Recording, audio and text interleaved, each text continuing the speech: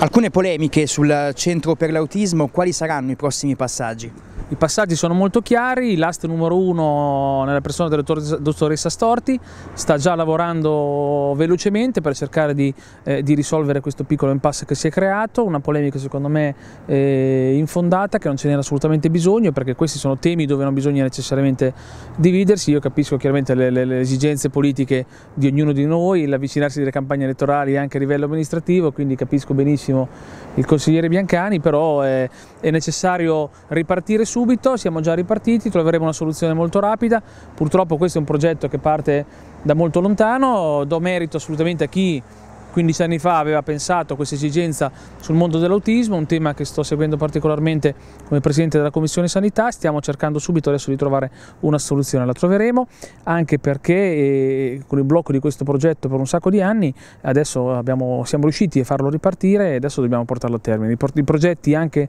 eh, se presentati da altri, eh, seppur buoni, devono essere portati a termine, quindi è sicuramente un, un elemento fondamentale che dobbiamo, dobbiamo riuscire a portare a termine, sono certo che lo faremo.